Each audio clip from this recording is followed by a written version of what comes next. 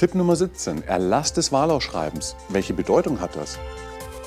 Hallo und herzlich willkommen. Mein Name ist Dr. Matthias Versli. Ich bin Fachanwalt für Arbeitsrecht und Referent bei der WRF.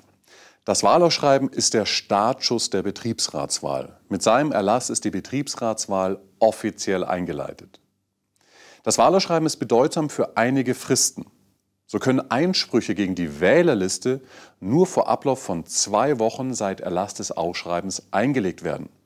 Auch die Vorschlagslisten sind ebenfalls vor Ablauf von zwei Wochen seit Erlass des Ausschreibens beim Wahlvorstand einzureichen. Die ganz wesentliche Bedeutung des Wahlausschreibens und dessen Erlass ist aber diejenige, die Arbeitnehmer darüber zu unterrichten, dass eben eine Betriebsratswahl stattfindet und wie das gesamte Verfahren abläuft.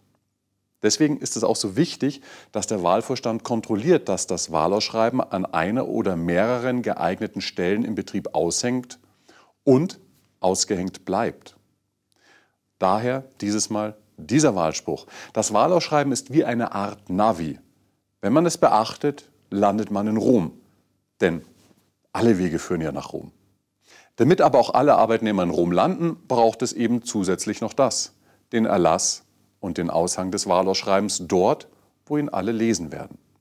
Mein Name ist Dr. Matthias Ferstel und wenn Sie wollen, dass auch Ihre Kollegen die wertvollsten Tipps zur Betriebsratswahl bekommen, dann teilen Sie doch dieses Video. Danke sehr.